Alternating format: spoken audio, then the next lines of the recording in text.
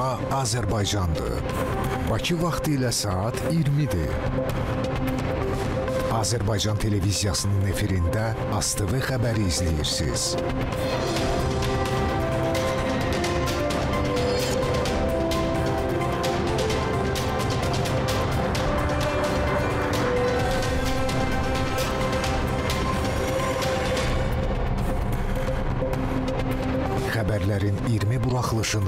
Samirə Mustafayeva təqdim edir. Hər vaxtınız xeyir olsun. ASTV xəbər izləyirsiniz. Əvvəlcə qısa anonslarımız var.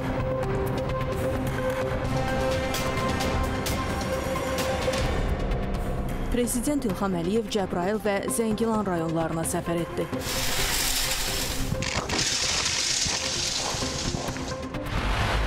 Azərbaycanın Qarabağ bölgəsindəki qondarma rejim özünü buraxdığını elan etdi. Ruben Vardanyan məsuliyyətə cəlb edildi. Qarabağda yaşayan erməni sakinlərin reinteqrasiyası ilə bağlı müvafiq tapşırıqlar verildi. Daha ətraflı birazdan. 30 ildən sonra Xocavənddə qalıqları tapılan şəhidlərlə vida mərasimi keçirildi. Şəhidlər doğulub böyüdükləri kəndlərdə torpağa tapşırıldı.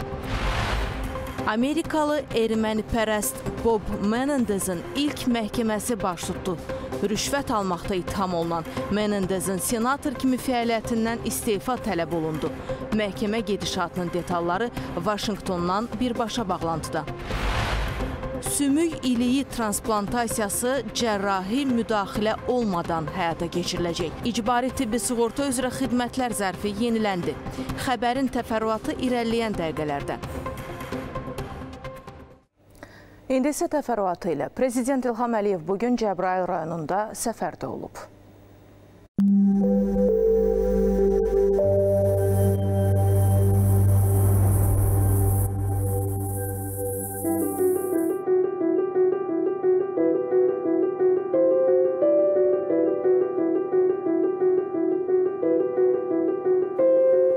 Azərbaycan ordusu Cəbrayıl istiqamətində bir neçə dəfə tarix yazıb. Onlardan biri ən yaxın tarixdə 2016-cı ildəki aprel döyüşləri idi. 2020-ci ildə Cəbrayılın işğaldan azad olunması da strateji əhmiyyət kəsb eləyirdi.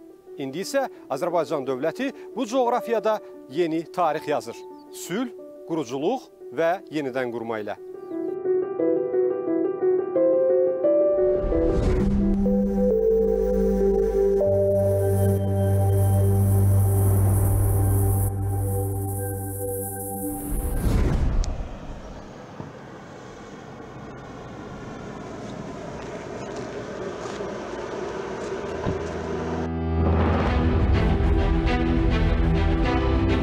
Cəbrayıl şəhərində tikiləcək inzibati binanın təməlinin qoyulması mərasimində Şərqi Zəngəzur iqtisadi rayonuna daxil olan Cəbrayıl, Qubadlı və Zəngilan rayonlarında prezidentin xüsusi nümayəndəsi Vahid Hacıyev məlumat verdi ki, konseptual baş plan layihəsinə əsasən ərazi 4 inzibati binadan ibarət olacaq. Hər bina müasir üslubda layihələndirilib. İlkin mərhələdə 4-5 mərtəbədən ibarət olan 2 korpuslu bina kompleksinin tikintisi planlaşdırılır və binalar körpü vasitəsilə əlaqələndirilir. Digər 3-4 mərtəbəli binaların tikintisi isə ikinci mərhələ üçün nəzərdə tutulur. Binanın fasadında müasirlik və milliliyin ahəngi əsas götürülüb. Bildirildi ki, layihəyə əsasən inzibati bina kompleksinin həyətində park və həmçinin elektrik doldurma məntəqələri ilə təmin olunacaq avtodayanacağın olması da planlaşdırılır. Kompleksin elektrik təminatını qismən ödəmək məqsədi ilə binaların damında və binanın istifadə olunmayan boş ərazilərində günəş panellərinin quraşdırılması nəzərdə tutulur.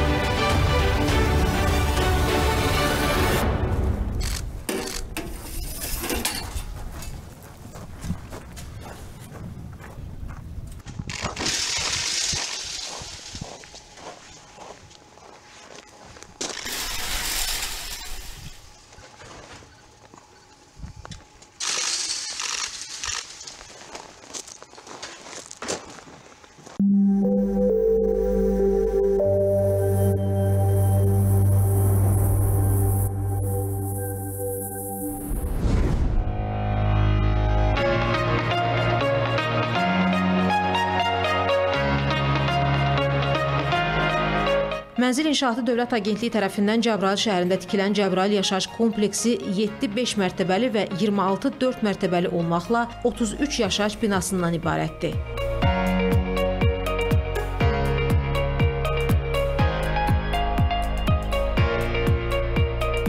Bu binalarda ümumilikdə 712 mənzil olacaq ki, onlardan 8-nin bir otaqlı, 136-sının 2 otaqlı, 8-nin 2 otaqlı studiya tipli, 392-sinin 3 otaqlı, 168-nin isə 4 otaqlı olması nəzərdə tutulur.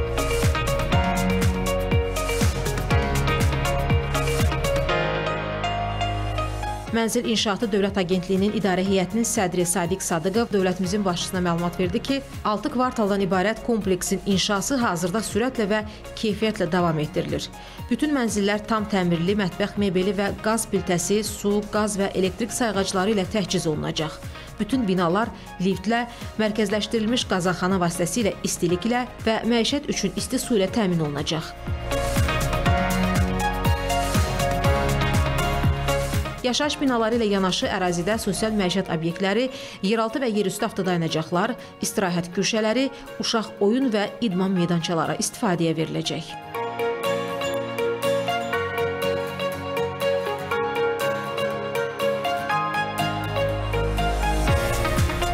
Midanın digər layihələri barədə də dövlətimizin başçısına məlumat verildi. Qeyd olundu ki, 8 hektardan çox ərazidə 25 binadan ibarət Şirvan yaşayış kompleksinin inşasına başlanılıb. Burada 9 mərtəbəli, 14, 12 mərtəbəli 11 bina inşa ediləcək.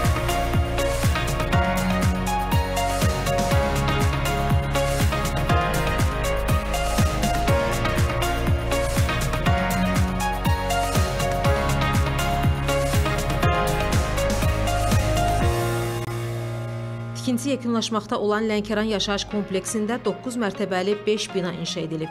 Binalarda ümumilikdə 240 mənzil var.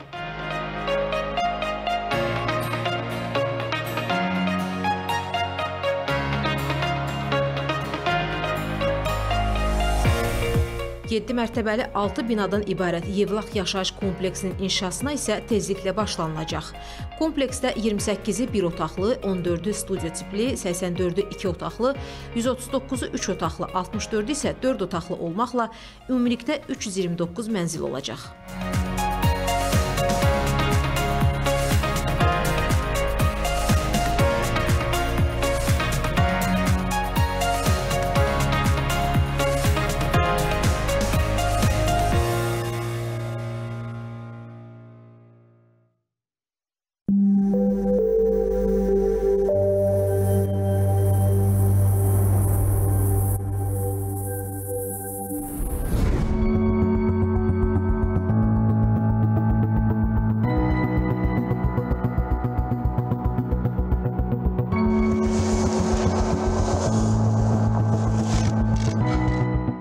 Elektroenergetika sektorunda texnoloji innovasiyaların tətbiqi və infrastrukturun rəqəmsal transformasiyasının sürətləndirilməsi istiqamətində Cəbrayıl şəhərində Prezident İlham Əliyev tərəfindən 2022-ci ilin 19 oktyabrında təməli qoyulan Azər İşıq Açıq Səhmdar Cəmiyyətinin rəqəmsal idarəetmə mərkəzi inşa edilib. Azər İşıq Açıq Səhmdar Cəmiyyətinin sədri Vüqar Əhmədov dövlətimizin başçısına məlumat verdi ki, rəqəmsal idarəetmə mərkəzi 110, 35, 10 kilovoltluq Cəbrayıl yarımstansiyasından qidalanır.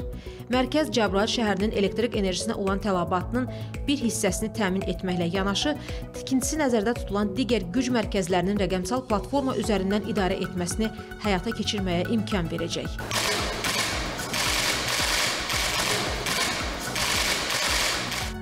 Rəqəmsal idarəetmə mərkəzində tətbiq olunacaq müasir dispetçer idarəetmə sistemi elektrik enerjisinin real vaxt rejimində istehlakçıya çatdırılmasında abonent məmnunluğunu təmin edəcək.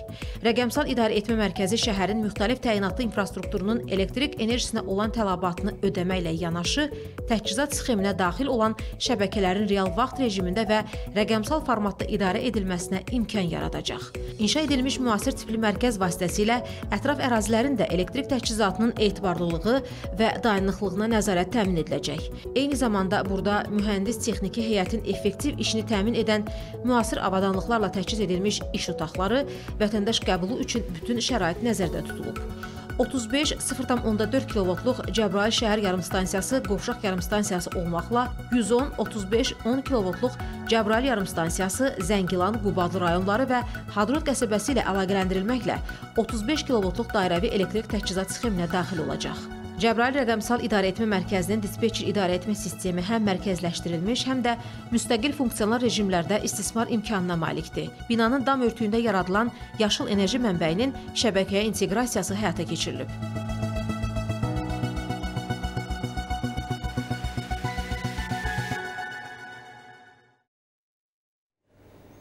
Prezident İlham Əliyev bugün Zəngilan rayonunda da səfərdə olub.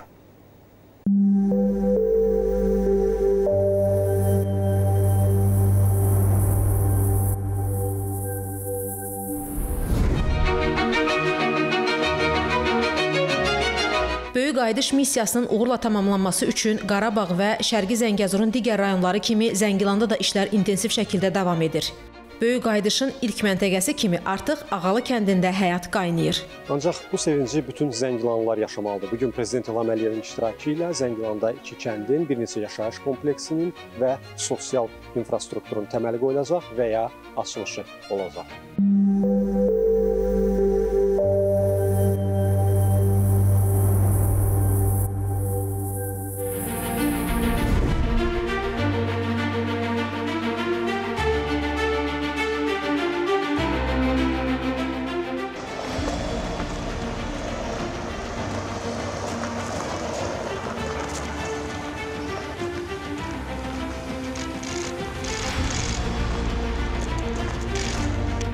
Şərqi Zəngəzur iqtisadi rayonuna daxil olan Cəbrayıl, Qubadlı və Zəngilan rayonlarında prezidentin xüsusi nümayəndəsi Vahid Hacıyev dövlətimizin başçısına kənddə görüləcək işlərlə bağlı məlumat verdi.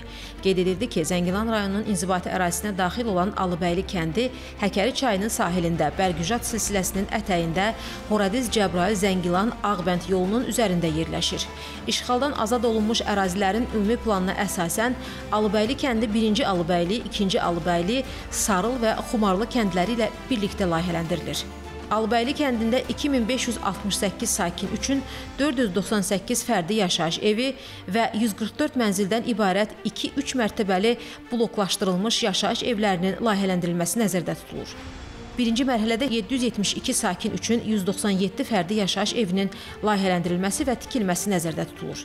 Bundan əlavə ərazidə inzibati bina, klub icma mərkəzi, qonaq evi, idman sağlamlıq mərkəzi, ticarət obyekti, ailə sağlamlıq mərkəzi, mərasim zalı, bazar kompleksi və digər qeyri-yaşayış obyektlərinin layihələndirilməsi nəzərdə tutulur. Albəyli kəndində əhali üçün tələbata uyğun 2, ümumilikdə 462 şagird yerlik, birinci mərhələdə isə 143 şagird yerlik tam orta məktəblərin yerləşdirilməsi planlaşdırılır.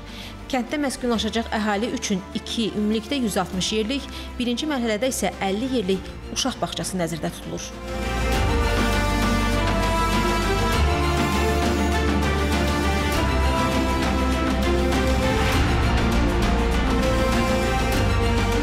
Əhalinin resurslardan istifadəsini əlçatan etmək məqsədi ilə geniş istifadə olunan qeyri-yaşayış obyektləri bir neçə mövqedə yerləşdirilib.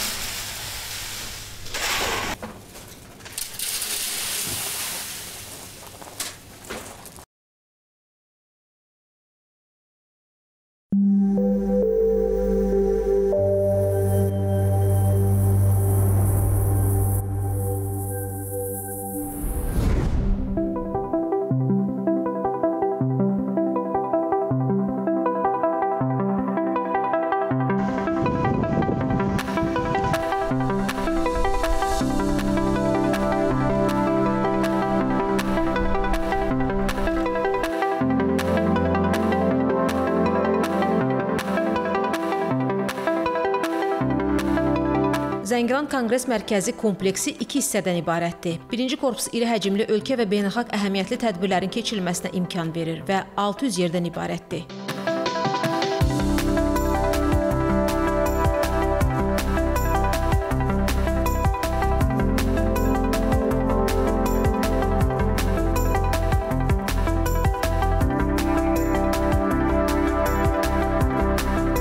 kompleksin ikinci korpusu çoxfunksiyalı tədbir zalından ibarətdir və həcmcə nisbətən kiçik olan müxtəlif tədbirlərin keçirilməsi üçün əlverişlidir.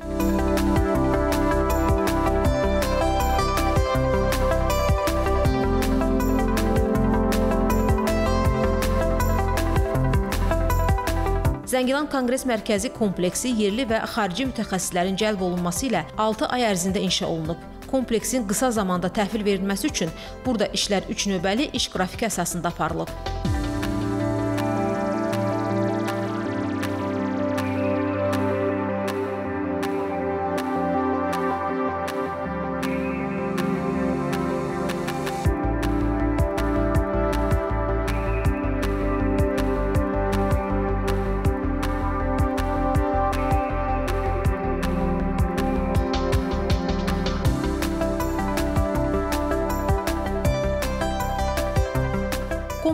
Enerji təchizatında bərpa olunan enerji potensialından istifadə olunması məqsədi ilə mərkəzin dam hissəsində günəş panelləri yerləşdirilib.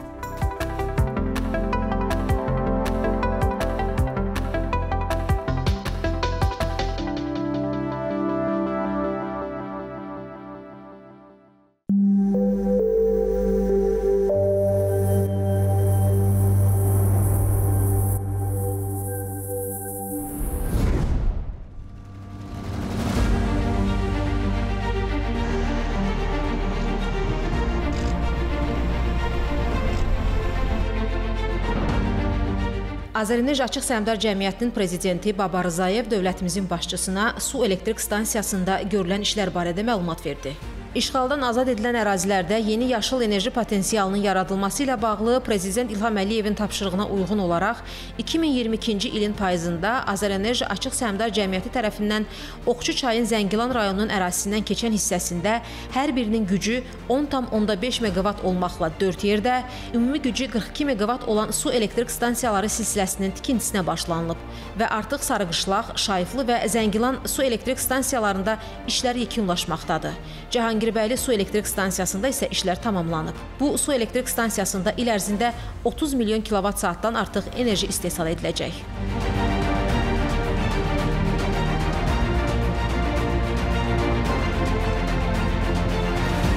Prezident İlham Əliyevin bu ilin may ayında tikintisinə baxış keçirdiyi bu 4 stansiyadan ibarət 42 meqavatlıq Zəngilan su elektrik stansiyalar silsiləsi işğaldan azad edilən ərazilərdə tam yeni inşa edilən ilk ən böyük enerji istehsalı layihəsidir. Bu layihə rekord müddətdə cəmi 1 ilə başa gəlib. İndiyədək nə Azərbaycanda, nə də digər yerlərdə bu sayda, bu gücdə, bu müddətdə su elektrik stansiyalarının tikilməsi faktına rast gəlinməyib. Bu 4 stansiyanı su ilə təmin etmək üçün Azərenerji tərəfindən dəniz səviyyəsindən 600 metr yüksəklikdə baş su qəbul edici qurğu tikilib. Bu qurğunun yaradılması enerji istehsalından əlavə kənd təsərrüfatı və ekoloji cəhətdən olduqca əhəmiyyətli hadisədir. Baş su qəbul edicinin tikilməsi 30 il müddətində çirklənən çay yatağının təmizlənməsinə, flora və faunanın dirçəlməsinə yardım edəcək. Qeyd edək ki, Oxçuçay üzərindəki su elektrik stansiyalarının tikilməsi ilə bağlı Dövlət Ekoloji Ekspertiza Agentliyinin təşkilatçılığı ilə aidiyyatı dövlət dövlət qurumlarının, media və qeyri-hökumət təşkilatlarının iştirakı ilə açıq ictimai dinləmələr keçirilib və layihəyə yüksək qiymət verilib.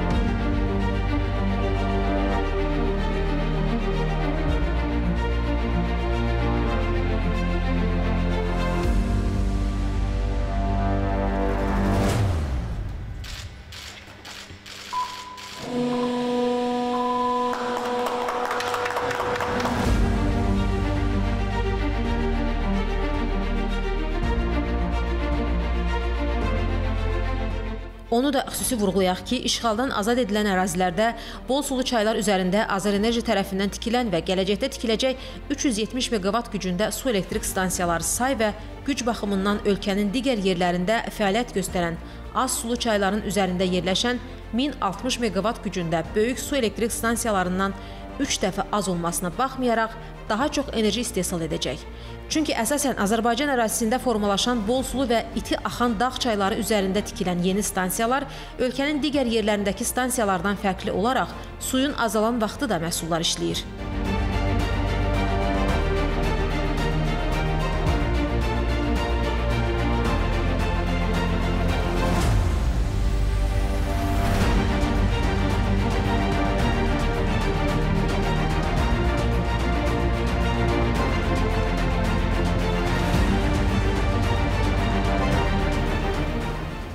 4 stansiyadan ibarət Zəngilan su elektrik stansiyalar silsiləsində il ərzində 130 milyon kilovat saatdan artıq yaşıl enerji istehsal ediləcək və bu da alternativ enerji mənbələrinə keçiddə çox böyük rol oynamaqla Prezident İlham Əliyevin regionu yaşıl enerji zonasına çevirmək tapşırığının icrasında mühüm töhfədir.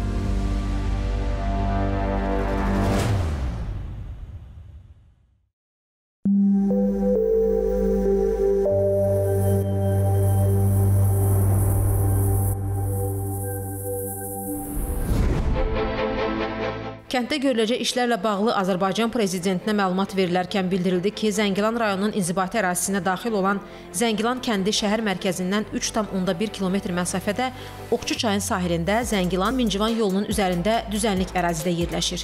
İşğaldan azad olunmuş ərazilərin ümumi planına əsasən Zəngilan kəndi, İçəri Müşlan və Mərikli kəndləri ilə birlikdə layihələndirilir. Bildirildi ki, Zəngilan kəndində 1631 sakin üçün 306 fərdi yaşayış evi və 102 mənzildən ibarət 2-3 mərtəbəli bloklaşdırılmış yaşayış evinin layihələndirilməsi nəzərdə tutulur. Birinci mərhələdə 489 sakin üçün 127 fərdi yaşayış evinin layihələndirilməsi və tikintisi nəzərdə tutulur. Bundan əlavə ərazidə inzibati bina, klub icma mərkəzi, qonaq evi, idman sağlamlıq mərkəzi, ticarət obyekti, ailə sağlamlıq mərkəzi, mərasim zalı, bazar kompleksi və digər qeyri-yaşayış obyektlərinin layihələndirilməsi planlaşdırılır. O da diqqətə çatdırıldı ki, əhalinin resurslardan istifadəsini əlçatan etmək məqsədi ilə geniş istifadə olunan qeyri-yaşayış obyektləri bir neçə mövqedə yerləşdirilib. Zəngilan kəndində sakinlər üçün 1-294 şagird yerlik tam orta məktəbin tikintisi planlaşdırılır. Eyni zamanda 2-60 və 40 yerlik olmaqla ümumilikdə 100 yerlik, birinci mərhələdə isə 30 yerlik uşaq bağçası yerləşdirilib.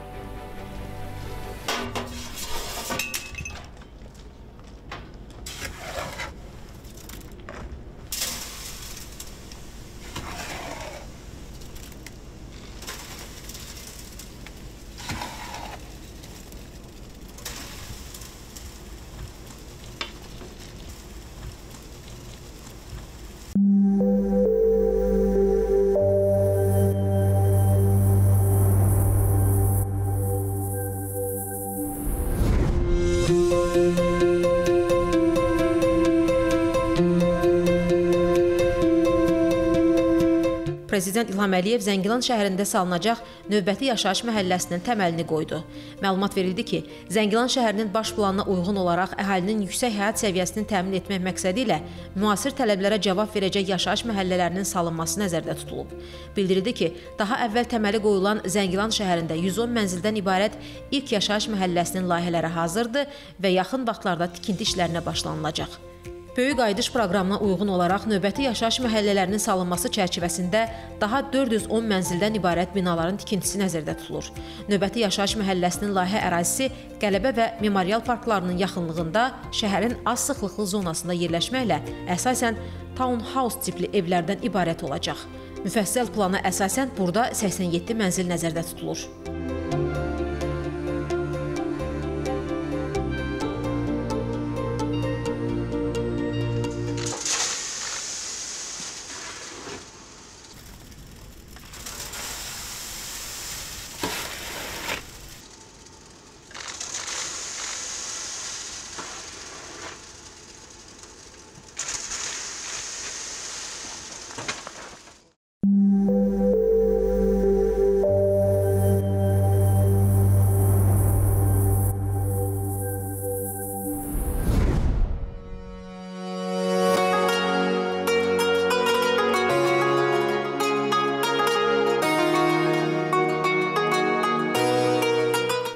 Torpaqlarımızı işğal altında saxladığı illərdə Zəngilan rayonunda da tarixi, dini, mədəniyyət abidələrimiz erməni vandalizminə məruz qalıb, dağıdılıb, təhqir edilib.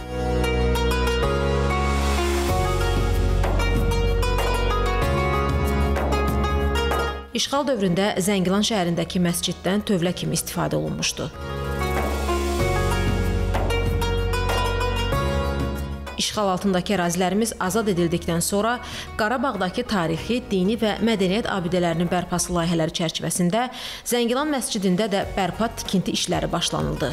Heydər Əliyev fondu tərəfindən təşkil olunan yerli və xarici ekspertlərdən ibarət işçi qrup məscidin mövcud binasını qiymətləndirmiş, binanın konservasiyası və bərpası, o cümlədən bu ərazidə yeni məscidin tikilməsinə qərar verilmişdi.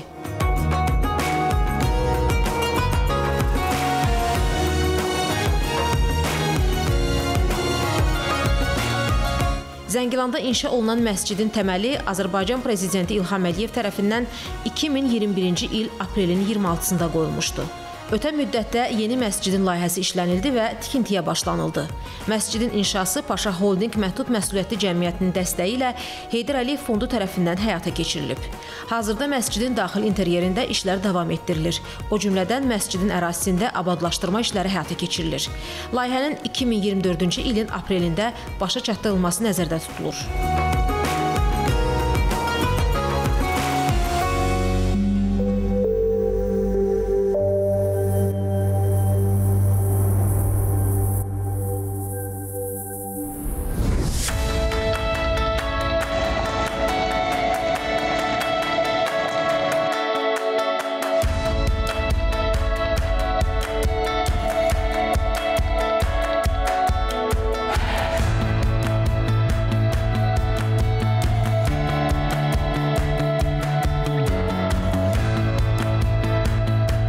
Prezident İlham Əliyevə Zəngilan şəhərində təməli qoyulacaq növbəti yaşayış məhəlləsində məlumat verildi ki, məhəllə iki sahəyə bölünüb və hər bir sahə üçün özünə məxsus konsepsiya hazırlanıb.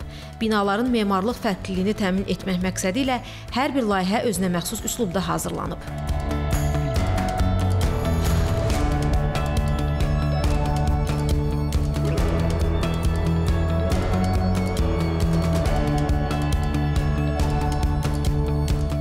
Ərazidə tikiləcək 3, 4 və 5 mərtəbəli çoxmənzilli binaların 8 blokdan və 192 mənzildən ibarət olması planlaşdırılır.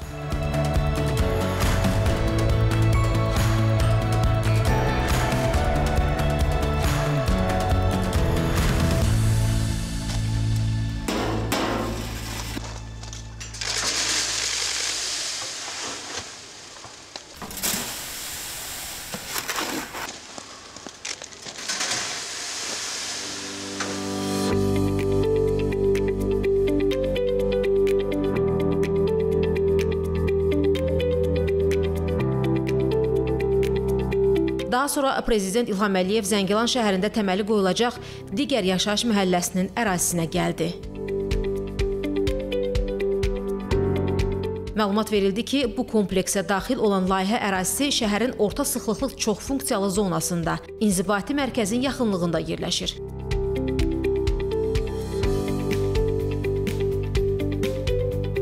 Konsepsiyaya əsasən burada 3, 4 və 5 mərtəbəli çoxmənzilli binaların inşası nəzərdə tutulur. Təklif edilən yaşayış binalarının 131 mənzildən ibarət olması planlaşdırılır.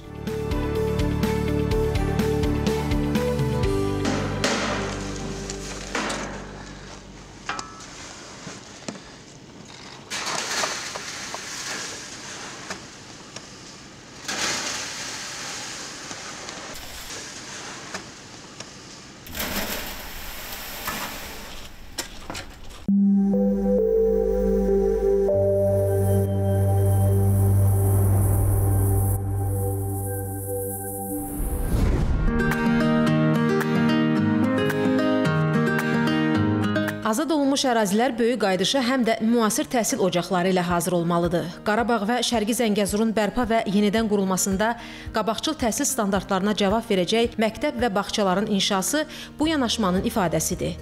Zəngilan şəhər 160 yerlik uşaq bağçası bu günün tələblərinə uyğun olaraq layihələndirilib.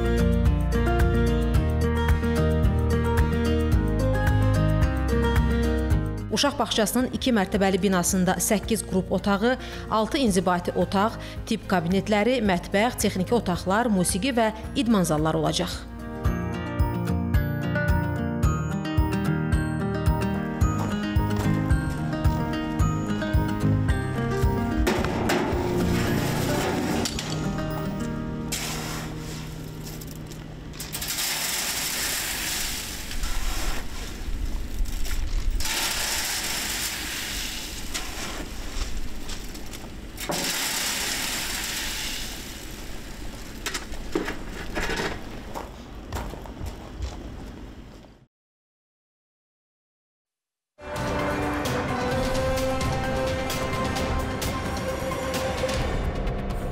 Vardanyan məsuliyyətə cəlb edildi.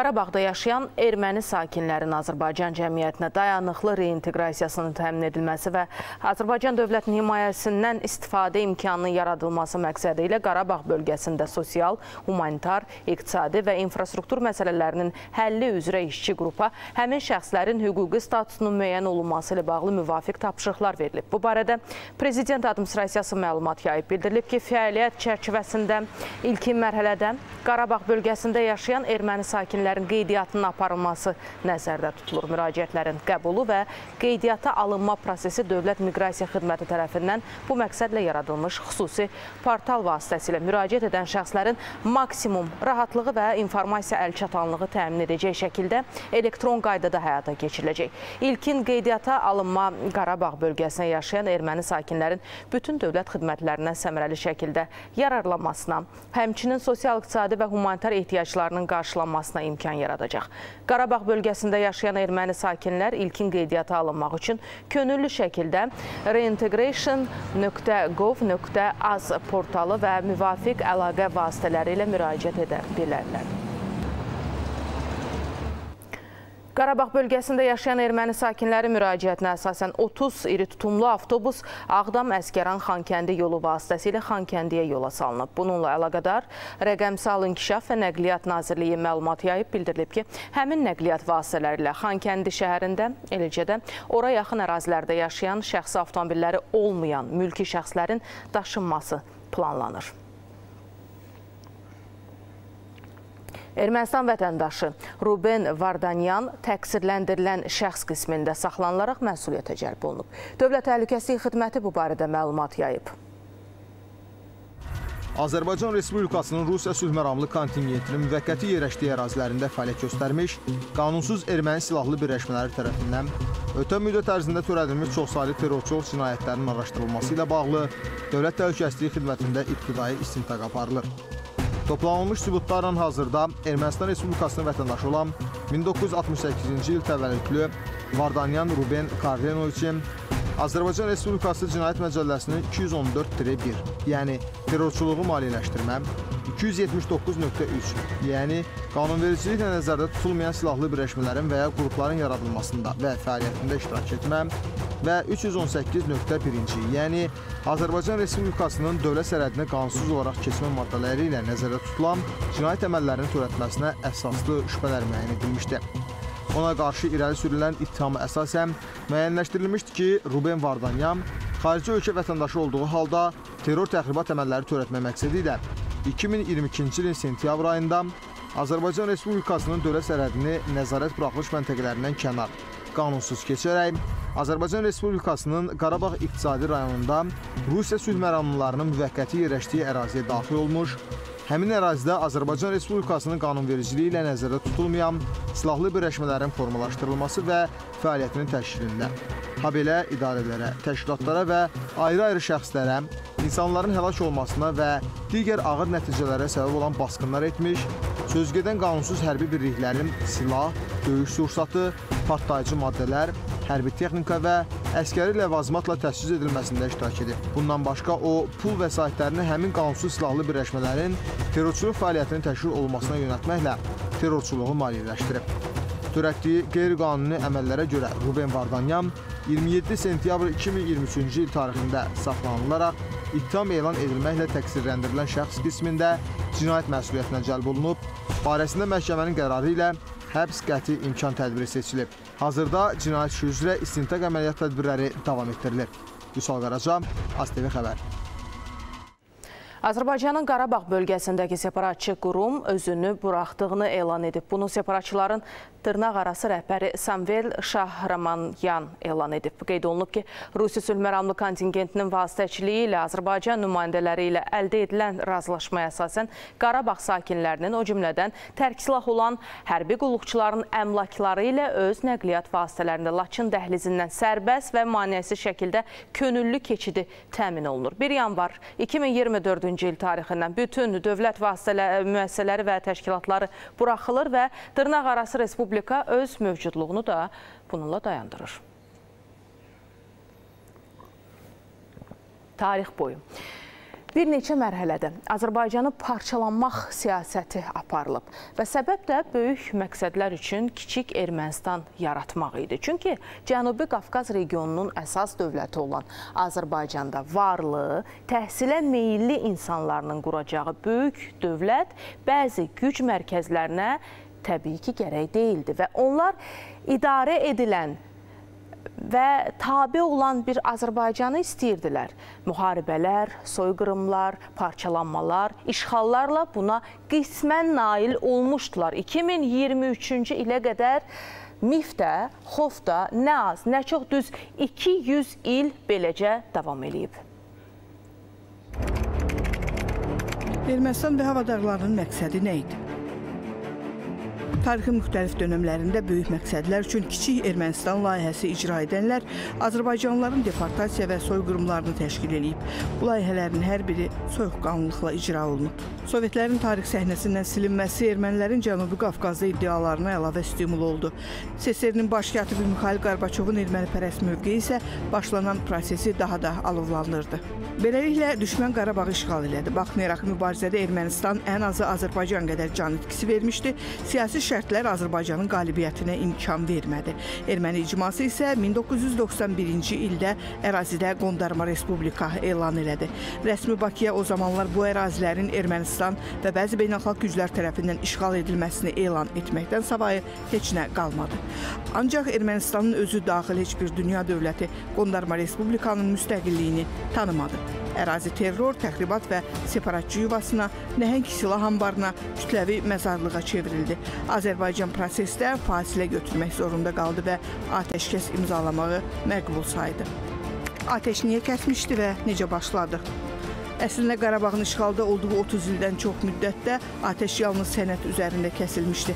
Bu illər ərzində elə gün olmadı ki, Azərbaycan ordusu şəhid verməsin, elə məqam olmadı ki, mülki vətəndaşlar atəşə məruz qalmasın.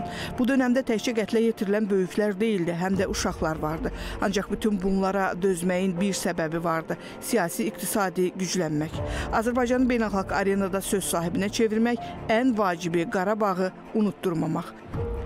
Ancaq uzun fasilədən sonra 2016-cı ilin aprelində Azərbaycanın antiterror əməliyyatının qarşısı böyük güclərin israrlı təzyiqi ilə alındı.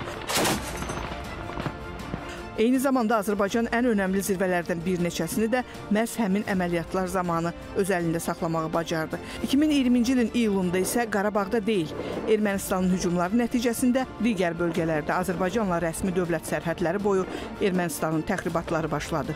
Həmin döyüşlərdə düşmən artıq anladı ki, Azərbaycan 1-ci Qarabağ savaşında uduzduğu vəziyyətdə deyil, daha güclüdür. Anti-Azərbaycan güclərinin əli ilə qara PR siyasəti, informasiya savaşı məhz bu mərhələdən sonra gücləndirildi keçirildi. 2020-ci ilin sentyabrında Azərbaycana qarşı hərbi təxribatların nəticəsində isə 2-ci Qarabağ savaşı başladı.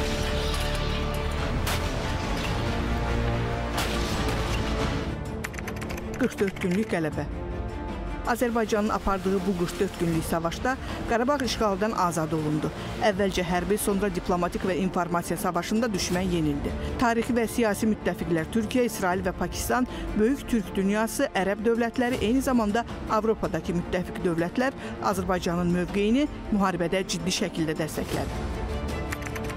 200 illik mücadilənin böyük səfəri. Bütün baş verənlərin təhlili göstərir ki, 200 illik mübarizədən sonra Azərbaycanın yenidən parçalanması layihəsinin icrası qətiyyətlə dayandırıldı. Saxta Dağlıq Qarabağ proyekti, Qarabağın Ermənistana birləşdirilməsi, Azərbaycanın Cənubi Qafqazda zəiflədilməsi işinə bir dəfəlik nida qoyuldu. Bu böyük tarixi hadisədir. Bundan başqa anti-Azərbaycan güclərinin və Cənubi Qafqazda hegemonluğa iddialı olanların 200 illik erməni layihəsi də darmadağın edildi. 44 günlük vətən müharibəsi keçirilən lokal xarakterli antiterror tədbirləri isbat elədi ki, artıq Azərbaycan öz müstəqilliyi və suverenliyini birmənalı şəkildə Qafqazlarda möhkəmlətdi.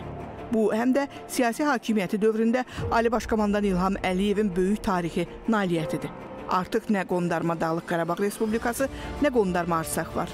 Nə bu layihənin müəllifləri, nə regionda terror, separatçılıq və təxribatla məşğul olanlar. İndi Cənubi Qafqaz var olduğundan bu yana ilk dəfədir gerçək sahibi ilə siyasi nəfəs alır. 1991-ci ilin sentyabrında saxta respublika elan edənlər onun 2023-cü ilin sentyabrında tarixin arxivinə gömüldüyünə rəsmən şahidlik elədilər. İndən belə bərabər hüquqlu əməkdaşlıq, qonşuluq, müttəfiqlik var. Bu Cənubi Qafqaz bölgəsi üçün ən mühüm geosiyasi reallıqdır. Jalem Təlimova, ASTV xəbər.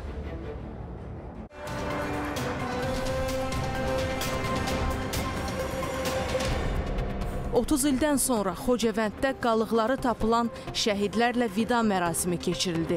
Şəhidlər doğulub böyüdükləri kəndlərdə torpağa tapşırıldı.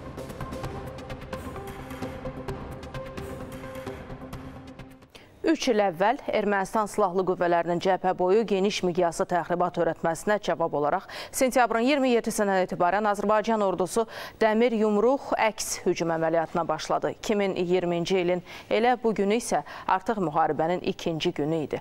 Hamı cəbhədən gələn xəbərləri qürur və həyəcanla izləyirdi. Müdafiə Nazirliyi Ermənistan ordusunun 3 silah sursat anbarının, onlarla texnikasının və 550-dən çox canlı qüvvəsinin məhv edildiyi edildiyi barədə məlumat yayması həm ordunun, həm də xalqın mübarizəlik ruhunu da yüksəltdi. Ön cəbhədə məğlubiyyətin acısını çıxmaq üçün düşmən mülki əhalini hədəfə alırdı. Tərtərdə əllər və məcburi köçkünlər üçün tikilmiş binanı atəşə tutulması nəticəsində 2 nəfər həlak oldu, 2 nəfər yaralandı. Zəfərə isə 42 gün qalırdı. Şəhidlərin Biz çox bizdə çox əmanəti var. Vətən, ailə, valideyn, övlad əmanəti və bir də dünyaya atalarının şəhadətindən sonra göz açan balalardır əmanət. Əməkdaşımız Aydan Əliyeva Vətən müharibəsindən sonra qalib Azərbaycanda dünyaya gələn elə həmin əmanətlərdən bir reportaj hazırlayıb. Onlar hər şeydən üstün tutdular vətəni. İndi də vətən onlara eyni cavabı verir əmanətləri, ailələri unudulmur. Ən mübah xidmətdir bu ailələri yad etmək, onlarla həm söhbət olmaq, həm də o halda ki, ailədə atasının şəhadətindən sonra dünyaya göz açan balalar varsa. Şəhid xüsusi təyinatlı qüvvələrin giziri intiqam əskərli belə şəhid atalardandır. Övladı onun şəhadətindən sonra doğulub.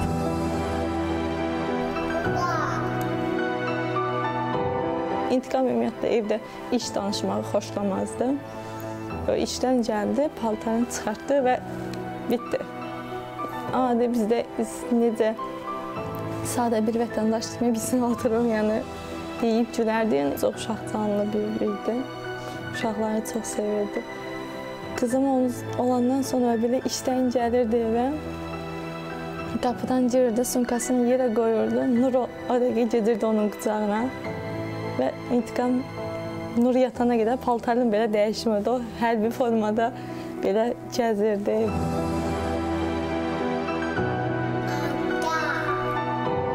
İntiqam şeydə olduqdan sonra mən ikinci övladıma 5 aylıq hamilə idim onda. İntiqam təlimdə sonra gəldi. Mənə deyəndə ki, belə-belə sevinmişdi, çıxılı cırtdanımız olur deyirdi həmsə.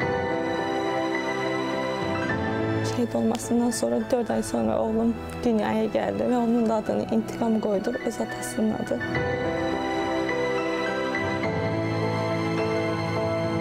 İntiqamın 9 noyabrda şəhid oldu.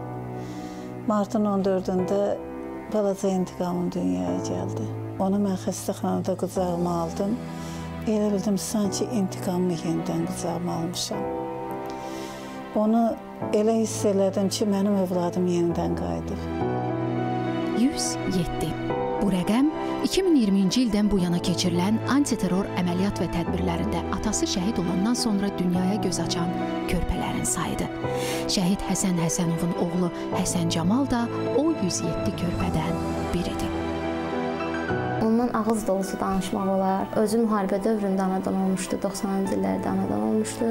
Özü həmişə deyirdi ki, biz bu torpaq uğruna savaşaq, e, ya ölək, ya qalaq, amma övladlarımıza qalmasın bu müharibə, müharibə şəraitində yaşamaq. Yəni biz e, bu müharibəni udaq, amma uşaqlarımız e, sülh və əmin-amanlıq içində yaşasın.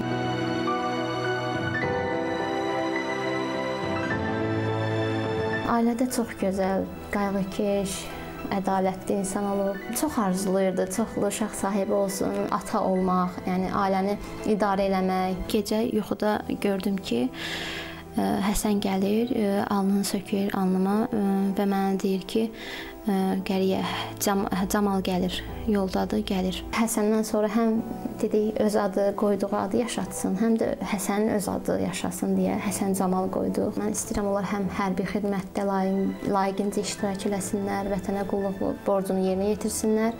İstəyərdim hərbiçi olsun, əsasdakı Camal.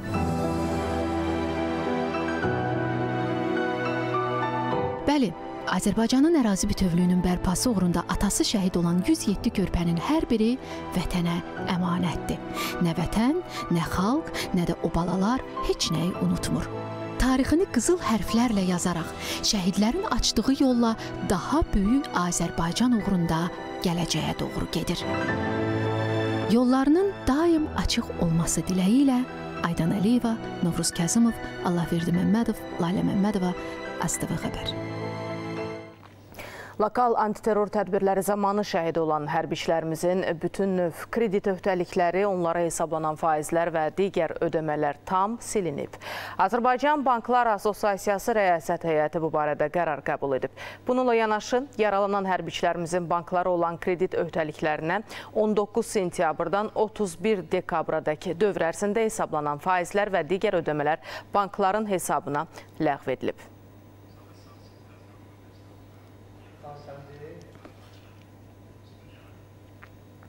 Azərbaycan keçirdiyi antiterror tədbirləri Xankəndidən olan Azərbaycanlıların da sevincinə səbəb olub. Azərbaycanın ayrı-ayrı bölgələrinə səpələnmiş Xankəndi sakinləri doğma yurda dönəcəkləri günü çox səbirsizliklə gözləyirlər. Əməkdaşımız Nəzrin Hüseynzadə daha bir Xankəndili ailənin təəssüratlarını öyrənib.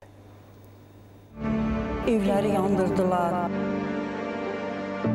Ermənilər deyirdi, çıxın gedin, sizin axınız pis olacaqdır.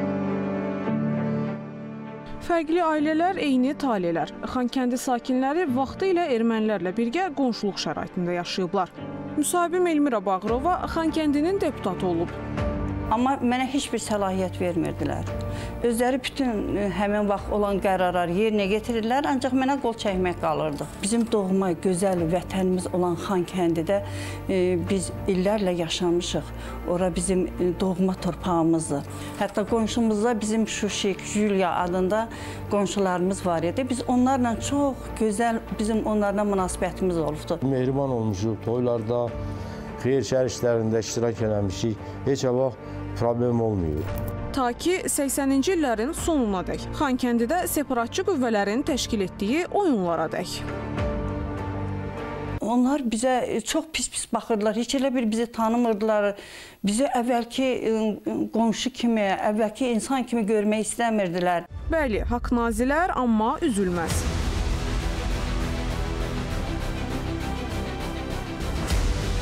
Bir günə heç arada görülməmişdi. Hətta baxdım İcra televiziyası 23 saat 43 dəqiqəyə bu məsələ həll olunubdur. Azərbaycan ordusu bir daha sübut elədi ki, Azərbaycanın ərazi bütövlüyünə qarşı istənilən addım cəmi 24 saata bax belə nəticələnir. İndi Azərbaycanın əzəli və əbədi torpağı Xankəndidən separatçıların şəkilləri sökülür. Çünki Azərbaycan əsla öz torpağında qondarma dövlət yaratmağa izin verməyəcək. Sakinlərin mövqeyini isə elə öz dillərindən təqdim eləyirik. Xankəndinə qaydanda inanırsınız ən çox darıxdığım öz evimdir, yaşadığım mənzilim. Lenin küçəsi 15, mənzil 18. Bizim e, xalqımız e, ürəyi, qəlbi açıq xalqdır beynəlmiləl xalqdır, süfrəsi açıq xalqdır, dostluğu, yoldaşlığı bacaran xalqdır. Yəni o separatçı qüvvələr çıxıb gedəndən sonra əvvəlki qaydasında bir yerdə yaşayacaq. Bir yerdə yaşayaq. Əvvəlki kimi mehriban, şad, xürrəm yaşayaq və biz bunu bacara bilərik. Nəzrin Hüseynzadə, Nuran Ələkbərov, Nicat Qasımov, ASTV xəbər. 30 il əvvəl 1-ci Qarabağ müharibəsi zamanı itkin düşmüş daha iki şəhidimizin Əbülfət Atamoğlanov və Təhsin Hacıyevin nəşləri tapılıb. Şəhidlərimiz doğulduqları Salyan rayonunda dəfn olunublar. Azərbaycan ordusunun əskəri şəhid Atamoğlanov Əbülfət Sabiroğlu 30 il sonra doğulduğu torpağa qovuşur. Onun üçrəngli bayrağa sarılmış tabutu Salyan rayonunun Kürsəngi kəndinə gətirildi. Vida mərasimində şəhidin doğmaları, rayon ictimaiyyətinin rəhbərliyi, hüquq mühafizə orqanlarının əməkdaşları və ictimaiyyət nümayəndələri iştirak edirdilər. 1967-ci ildə dünyaya gələn Əbülfət Azərbaycan ordusunun yarandığı ilk illərdə xidmətə başlayır. Ailəli və üç övlad atası olan Əbülfət cəbhəyə könüllü gedir. İlk döyüş yolu isə Füzuli istiqamətindən başlayır. Gizrin son döyüşü də elə Füzulinin Kürt Mahmudlu kəndi uğrunda olur. 1993-cü il avqustun 31-də itkin düşən Əbülfətdən hər hansı xəbər almaq mümkün olmur. Müvafiq qanunvericiliyə uyğun olaraq ona dövlət tərəfindən şəhidlik statusu verilir. Lakin Atamoğlanovlar hər zaman onun geri dönəcəyinə ümid bəsləyiblər. Bu yaxınlarda isə Şuşa ətrafında kütləvi məzarlıqda aşkar edilən və şəxsiyyəti müəyyənləşdirilən meyit qalıqlarından birinin ona aid olduğu bilinib. Biz 30 ildir bu yolu gözləyirdik, amma belə gözləmirdik. Yenə sağ olsun dövlətimiz ki, bunu gətirdi bizə verdi. Öz balalarının gözünü yığdı. O üç bala 30 ildir şəkillə ata deyirdilər. İndi şükür Allaha gəlməyə yerlər var. Hər bayramlarda gələcəklər, öz atalarının qəbrini ziyarət edəcəklər. Birinci Qarabağ müharibəsində Füzulinin Gülmahmudlu kəndində itkin düşən və meyidinin qalıqları 30 il sonra Xocavənddə aşkarlanan Təhsin Hacıyevin də nəşi Salyan rayonuna doğulduğu Qarabağlı kəndinə gətirildi. Evindəki vida mərasimindən sonra şəhid kənd qəbirstanlığında dəfn edildi. Axırıncı dəfə ona 92-ci ildə görüşmüşəm mən. Gözəl, mehriban, qaşış yoldaş olub, sinif yoldaş. Sonuncu görüşümüz ondan sonra. Mən də hərbi xidməti Azərbaycan olsun təzə davam edəndən sonra 96-da oldu, təxsis olub gələndən sonra onun itkin düşməyini eşitdim mən. Onunla yanaşı mənim 3 sinif yoldaşım da itkin düşüb. Hacıyev Təhsin Fikranoğlu 1973-cü il aprelin 24-də Salyan rayonunun Qarabağlı kəndində anadan olub. Təhsin Azərbaycan ordusunda xidmət edərkən vətən uğrunda döyüşlərə qatılır. O da 1993-cü il avqustun 31-də Füzulinin Kürd Mahmudlu kəndi uğrunda gedən döyüşlər zamanı itkin düşür. 93-ün avqustun 31-də itkin düşüb, o vaxtdan xəbərimiz yox idi. İndi Allahın böyüklüyünə min şükür ki, elə bu gün tapmışıq. Sağ olsun bizim dövlət prezidentimiz, sağ olsun elmi cəmaatımız, prezidentimizin, xalqımızın sayəsində bugünkü gün torpağı tapşırırıq. Xatırladaq ki, Xocavəndin Edilli kəndi düşmən işğalından azad edildikdən sonra kütləvi məzarlıq aşkarlanıb. Ekspertiza zamanı meyit qalıqlarından birinin Təhsin Hacıyevə məxsus olduğu təsdiqlənib. Şahin Həsənov, Aydan Əliyeva, Əfsanə Mehdiyeva, Astava xəbər.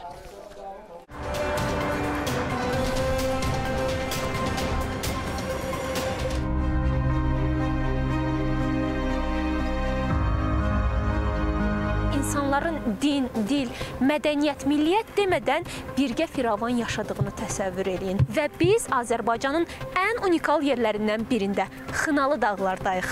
UNESCO-nun mədəni irs siyahısına daxil olan Xınalıq və Köç yolundan ASTV xəbərin xüsusi reportajı. 4 oğuldan biri olan Yafəsin e, oğlunun adı Ket olub və biz onun törəmələri olduğu üçün bizdə Ket dedin, e, kəndimizə də Ket işləyilir. Əməkdaşlarımız hər daşı, torpağı tarix qoxan bu diyarda hansı faktlara şahid oldu?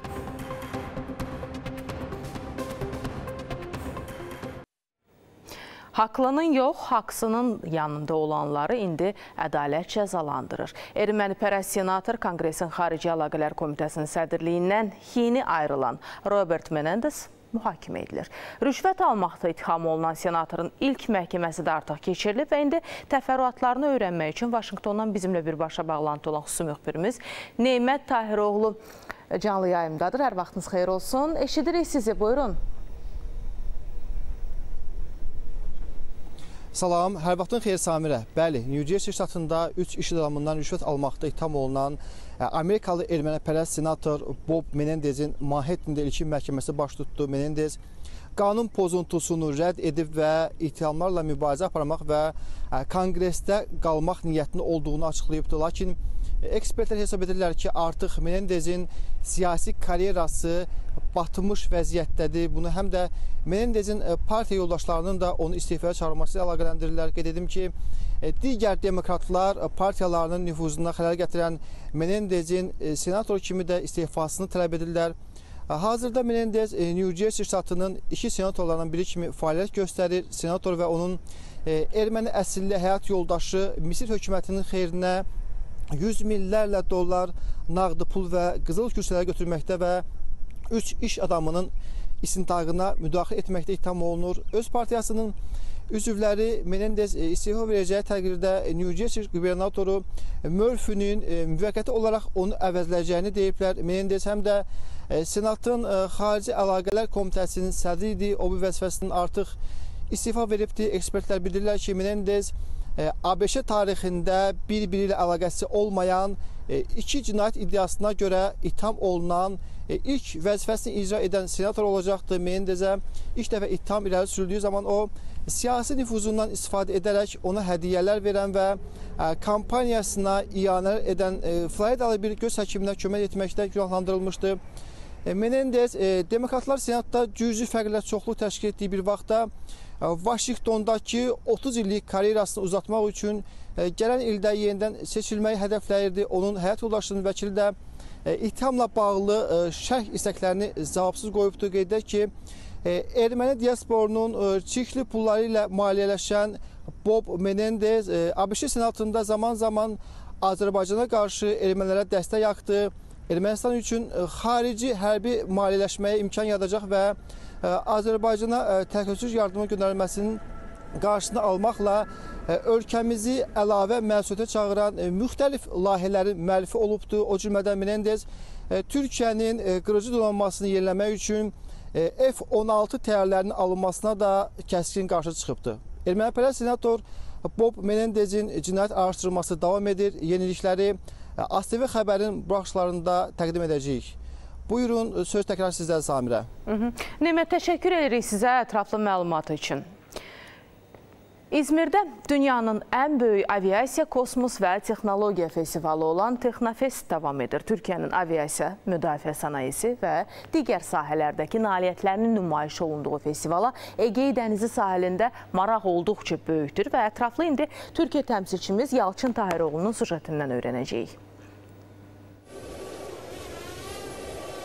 Bu il Türkiyə Cumhuriyyətinin yaradılmasının 100-cü il dönümü münasibəti ilə üç mərhələdə keçirilən Teknofestin həyəcanı İstanbul və Ankaradan sonra İzmirdə yaşanır.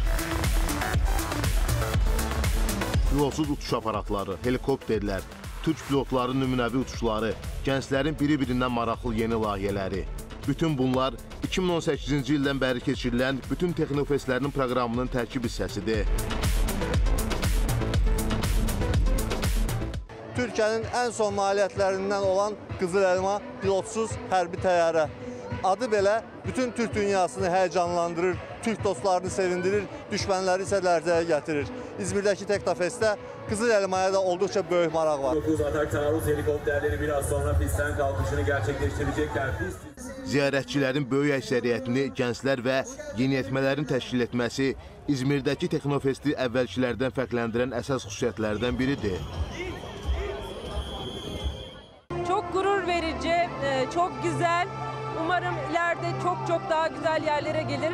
Allah vatanımıza, milletimize zeval vermesin. Çok güzel ambiyansları falan ben çok hoşuma gitti. Bu kadar güzel olacağını hiç düşünmemiştim. Ee, buraya da geldiğiniz için çok mutluyum Azerbaycan'dan. Ee, sizi çok seviyoruz Türkiye olarak. Kardeş ülkemizsiniz zaten.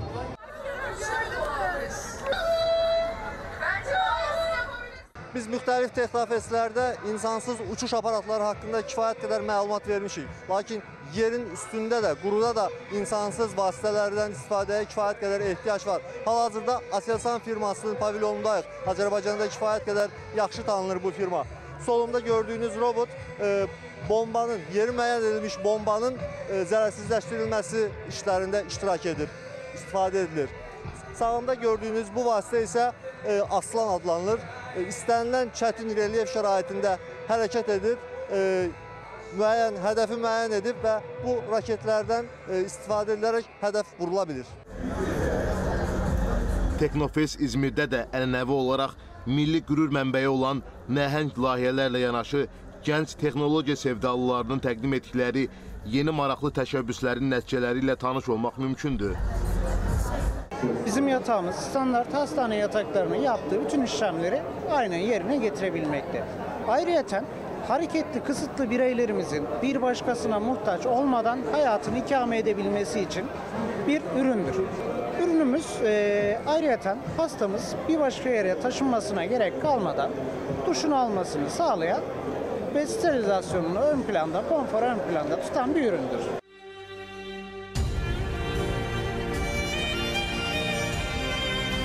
İzmirin Çiyili Hava Limanında təşkil olunan 9-cu Texnologiya Festivalında da əsas diqqət mərkəzində Baykar şirkətinin məhsullarıdır.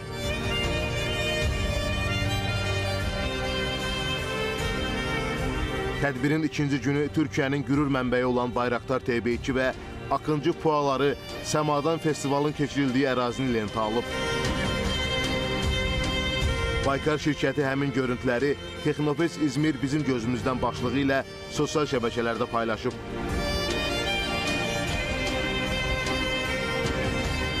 Prezident Rəcəb Tayyib Ərdoğanın da qatılacağı Texnofest İzmir oktyabrın 1-də sona çatacaq.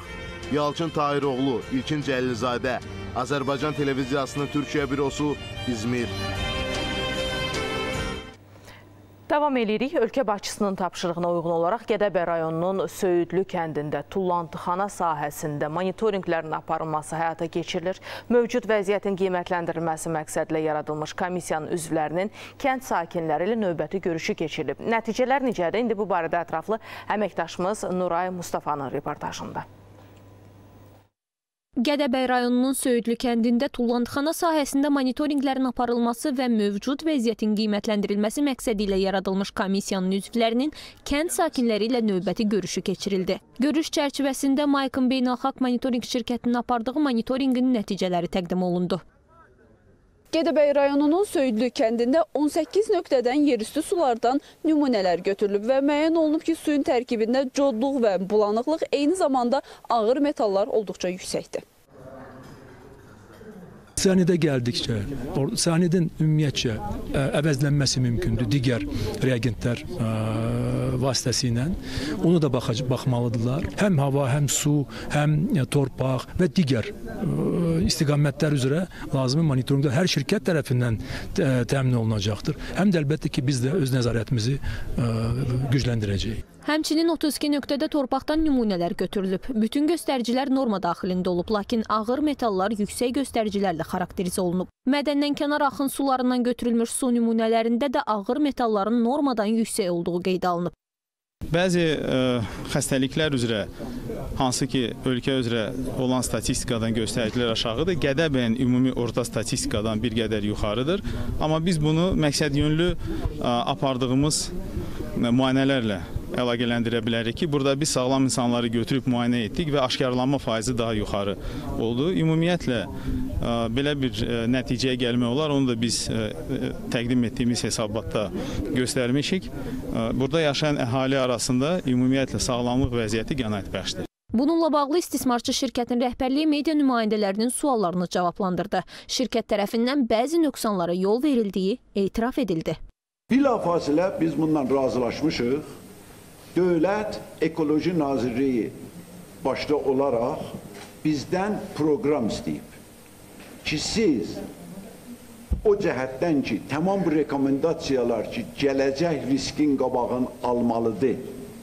Bu müddətdə eləyin və bizə bunu göstərin. Monitorinqi həyata keçirən Maykın şirkət tərəfindən istismarçı Anglo Asian Mining şirkətinə qısa, orta və uzun müddətli planlar tövsiyə edilib. Şirkətin qarşısında bu tələb və tövsiyələrin həyata keçirilməsi üçün öhdəlik götürməsi şərt kimi qoyulub. Məhz bundan sonra şirkətin işinin bərpası məsələsinə baxıla bilər. Nuray Mustafa Zaur Dadaşov, Fidan Şakir qızı, ASTV xəbər. Rəqabət Məcəlləsinin təsdiq edilməsi haqqında qanun layihəsi birinci oxunuşda Milli Məclisin İqtisadi Siyasət, Sənaye və Sahibkarlıq Komitəsinin iclasında müzakirəyə çıxarılıb. Yeni Rəqabət Məcəlləsinin qüvvəyə minməsi ilə bu vaxta kimi mövcud 3 qanun ləğv ediləcək. Özəl sektorun ümumdaxili məhsulda payının 84%-ə çatması ölkə iqtisadiyyatında yeni çağırışlara yol açıb. Rəqabət məcəlləsi haqqında qanun layihəsi də biznes mühitində şəffaflığın dərinləşməsi, inhisarçılığa qarşı mübarizənin təkmilləşməsinə hesablanıb.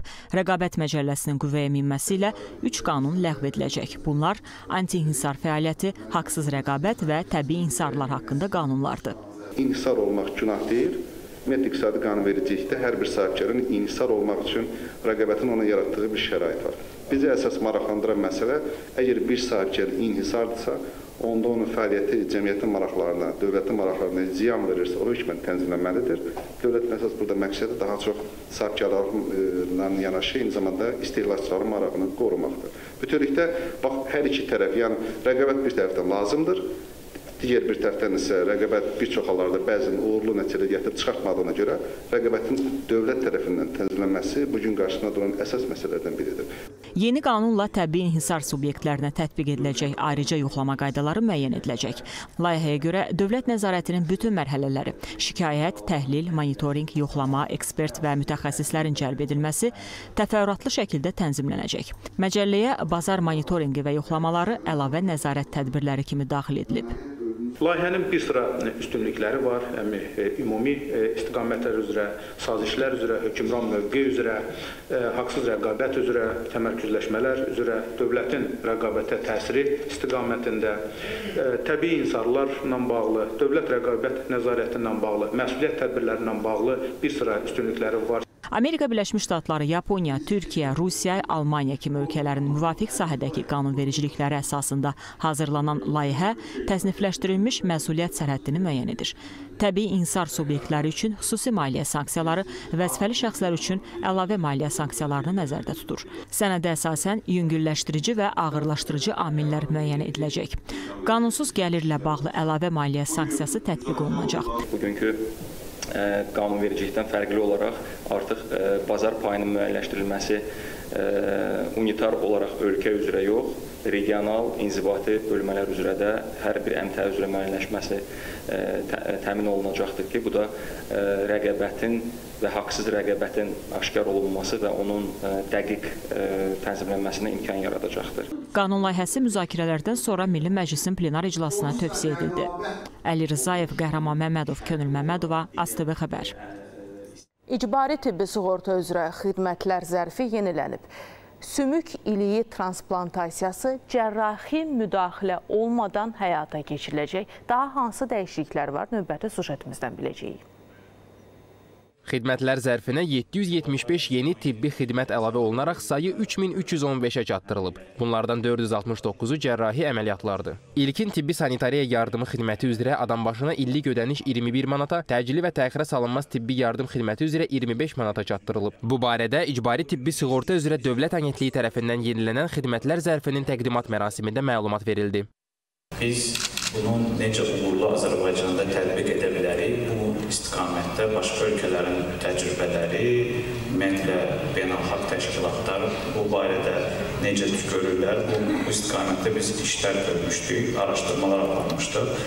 Və bu araşdırmalarda biz görmüşdük ki, Azərbaycan universal tibbi təminat əgər ölkədə ə, tətbiq edə bilsə, deməli bu əhali üçün uğurlu bir model olardı. Və universal tibbi təminata baxanda biz əsas orada 3 komponent görürdük.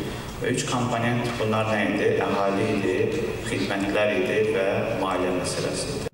Digər mühüm məqamlardan biri də artıq sümük iliyi transplantasiyasının cərrahi müdaxilə olmadan həyata keçiriləcəyi ilə bağlıdır. Bunun üçün dəyəri 40 milyon manatdan çox olan 3344 yeni avadanlıq alınıb. Həmçinin leykoz, miyeloma, limfoma kimi qan xəstəliklərindən əziyyət çəkən şəxslərin də effektiv müalicəsi mümkün olacaq. Nübar Zayeva, Novruz Kazımov, Orxan Qayıbov, ASTV xəbər.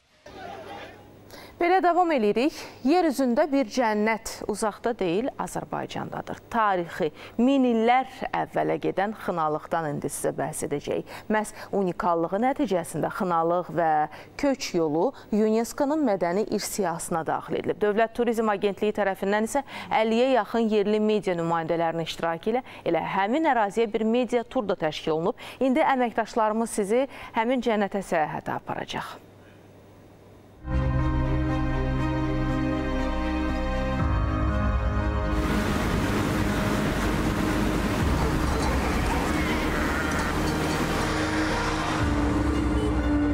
Hansı dağa çıxırsınız? Yox.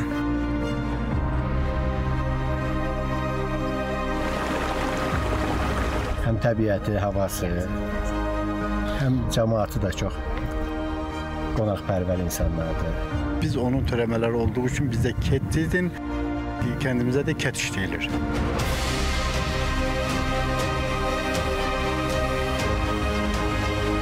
Unikallığı ilə dünyaya səs salan hətta 5000 il tarixi olan məskəndəyik. ASTV xəbər Xınalıqdadır.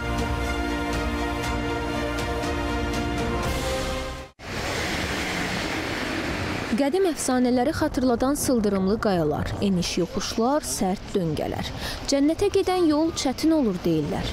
Boşuna deyilmiş.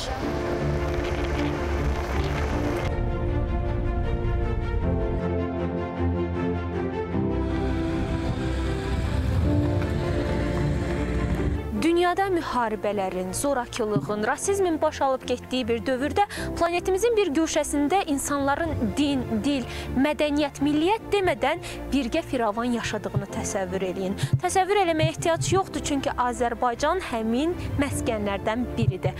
Və biz Azərbaycanın ən unikal yerlərindən birində Xınalı dağlardayıq. Burada dağlar da qəhqəhə atan uşaqlar kimi günəşin övladlarıdır. Gedirsən qoyun otarmağa.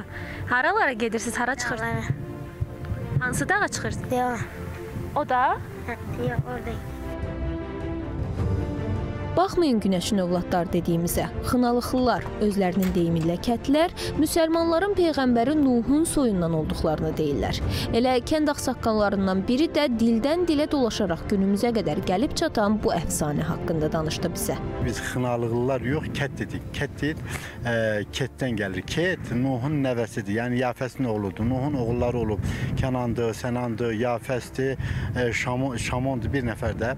Ə, bu dörd oğuldan biri olan Yafəsin ə, oğlunun adı Ket olub və biz onun törəmələri olduğu üçün bizdə Ket dedin, ə, kəndimizə də Ket işləyilir. Burada məsələn dəniz səviyyəsindən 4100 metr hündürlükdə göl var. Ona Nuh gölü deyirlər. Əfsanə deyirik, amma dəniz səviyyəsindən 2000 metr yüksəklikdə olan kənddə vaxtilə rast gəlinən balıq qulağı və daşlaşmış balıq sümüklərini xınalıqlılar bu rəvayətin təsdiqi kimi göstərir. Hətta burada bir vaxtlar baş vermiş tufan və daşqının sübut olduğunu iddia edirlər. Kəndin tarixinin min illər əvvələ gedib çıxması isə danılmaz faktdır.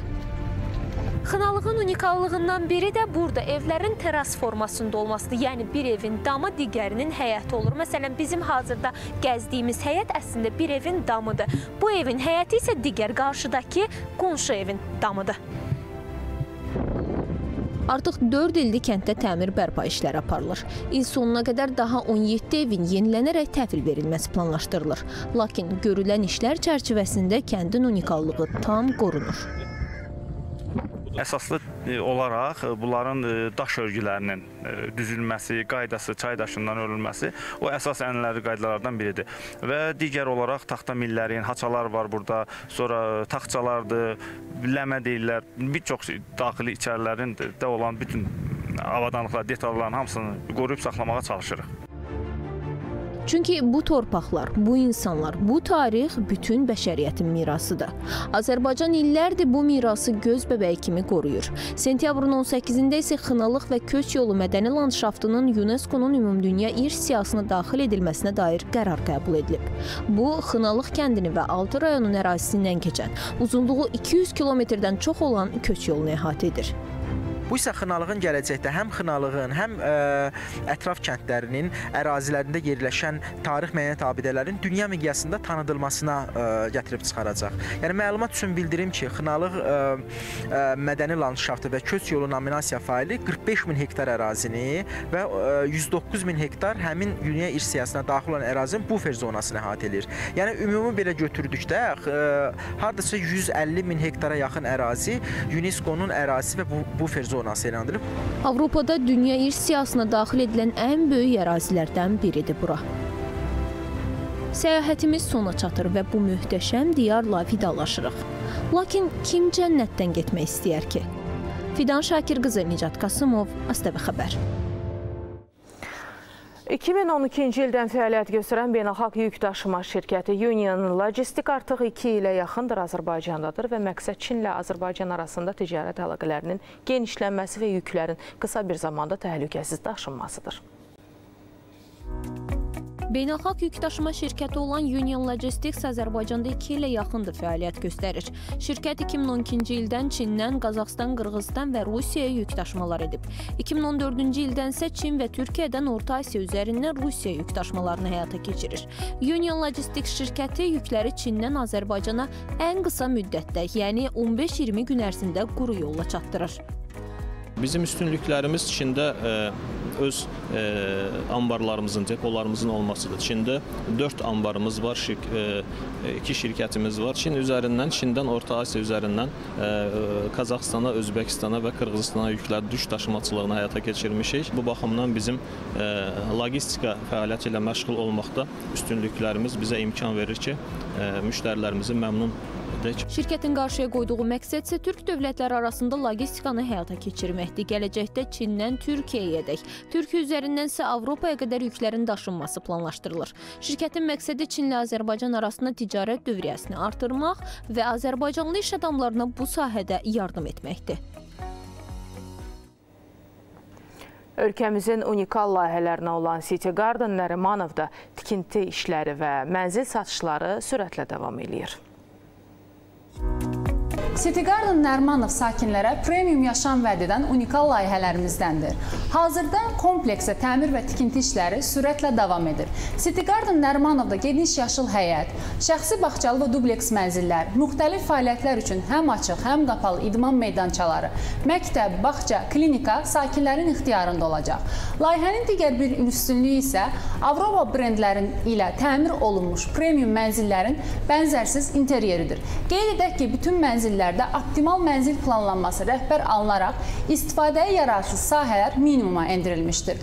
Bundan əlavə Şəki dairəsi olaraq bilinən yerdən Koroğlu metrosu istiqamətində çəkilən yeni yol ilə sakinlər mənzillərinə daha tez və rahat şəkildə çatacaq. Siz də illik 6%-dən başlayan ipoteka krediti ilə City Garden Nərimanovda mənzil sahibi olmaq şansını dəyərləndirin. Ətraflı məlumat üçün ulduz 1544 və 050 293 10 10 nömrələrinə zəng edə bilərsiniz. Xəbərləri təqdim etdik. Görüşmə ümidi ilə hörmət tamaşaçılar. Sağ olun, sağlıqla qalın.